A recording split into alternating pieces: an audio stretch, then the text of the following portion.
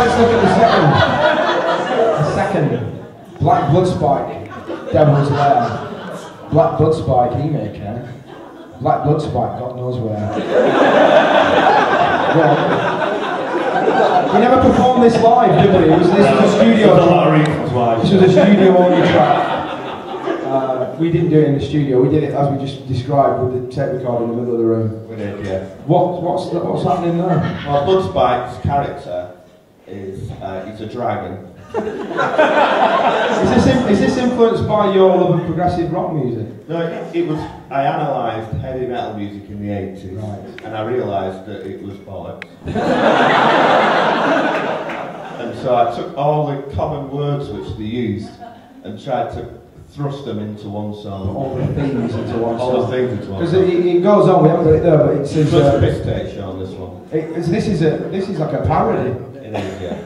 It's very multi-layered, you see. Uh, so one of the lyrics I remember is blood Bloodspike killed ate my best friend's cousin. That's right.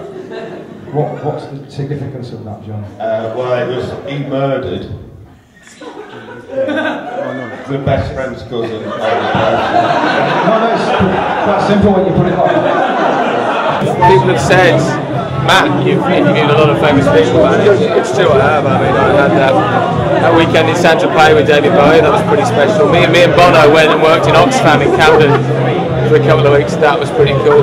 Me and Jagger, we fell out, but at the time we had a good time. That compares, it just doesn't compare to what I'm about to do tonight. I'm about to actually go on stage and, and introduce and interview the most inspirational band of mine and any generation, and generations yet to come, generations yet to happen. I'm about to go behind the music with Mosque. After this point, I just fucking retire. After this point, that's it. That's it. I retire. Is that your retirement from Six Music as Or well? retirement for the whole business. When this is done, there is no more music. When they finish playing tonight, the end of music. Uh, actually, when they start playing, could be the end of music. But no, generally, music's over. This is the first time this band have been interviewed together for probably about 15 years. There's a lot of history, a lot of animosity, a lot of bitterness. They've come together just for you. We're going to have a quick pre-gig interview. The first time, Rolling Stone are fucking after this, no way. Billboard wanted it, fuck off. NME, who the fuck are? With the Q&A, ladies and gentlemen, Mosque!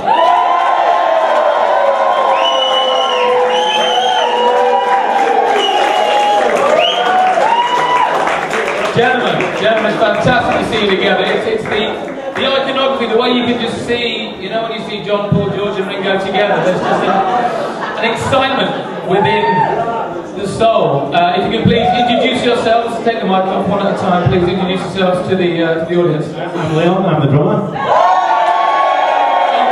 powerhouse, the lyrical god, I'm John I'm Paul Banks. oh, quiet one, quiet one. My book's available uh, everywhere. In class, the nation. Shaun Keaveney on guitar. That was underwhelming. So the first question that everybody really wants to know is, after years of arguments, uh, grief, interfighting, bitterness, why now? Why have you decided to get back together tonight?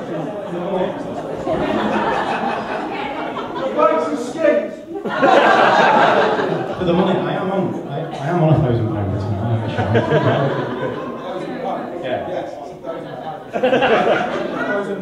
Well, I'm actually terminally ill, so.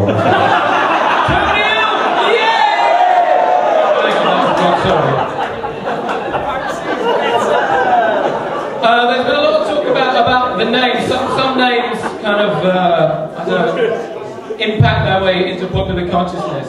Uh, Arctic Monkeys, not a great name, but then you, you get used to the fact that it, it becomes the identity of that band. Mosque is such a powerful, powerful name. Uh, where, where did the Mosque name come from? Obviously everyone knows this, but it'd be a good thing to hear it again. Yeah. It's um, we we've had a lot of sticks since the Twin Towers and stuff. you didn't see that one coming with it, obviously. I mean, I thought- I thought not the American Secret Service. I, I thought that was a solo album, The Twin Towers. Well, Banksy's got Banksy's side project, uh, Santa's Bugger Boys, have done a lot of inappropriate material over the years, including We're all fans. albums including Hi Honey I'm Homo, uh, One Computer, 20 Nazi Golden Greats.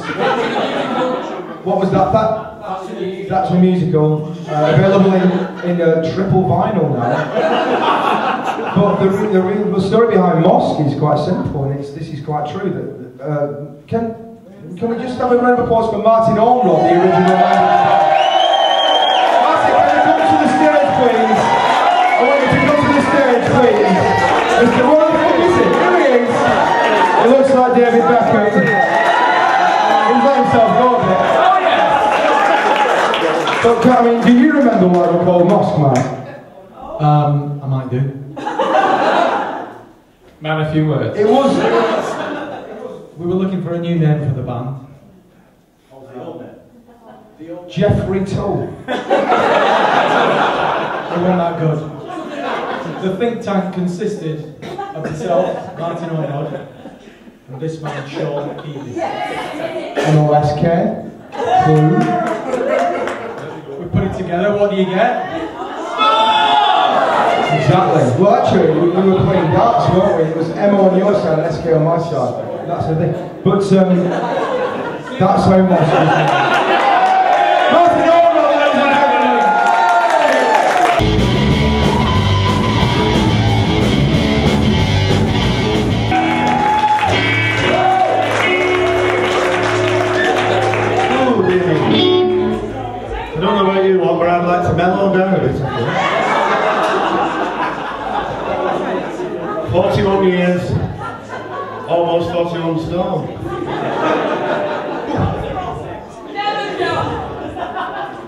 This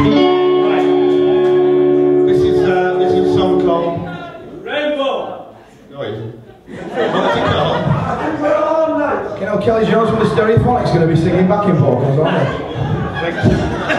Vocals up. This is about lost things. This is still lost things. It's a song about losing things. Socks.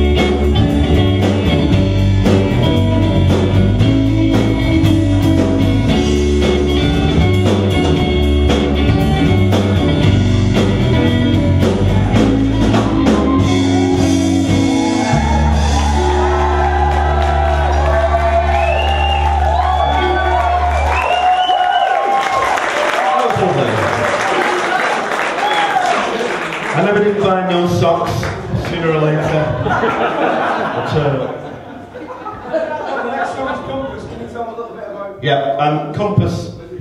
If you've ever owned a compass, there's two types of compass. One which draws circles, and one which shows you the direction to go into.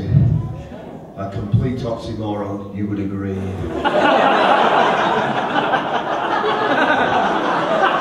This is about man's struggle go in directions and then turn around in a circle.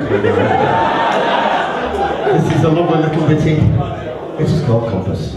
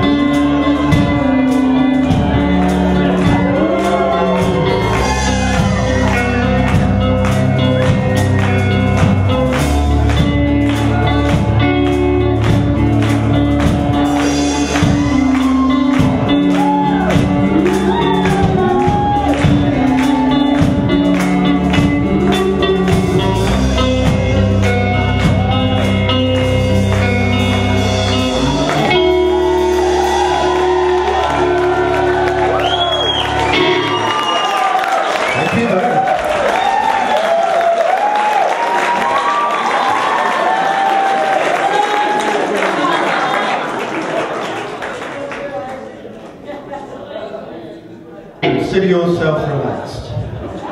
Two relaxing songs.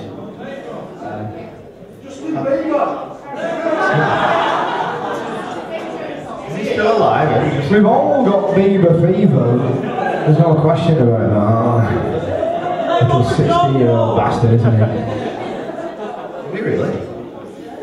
Leon's never heard of him.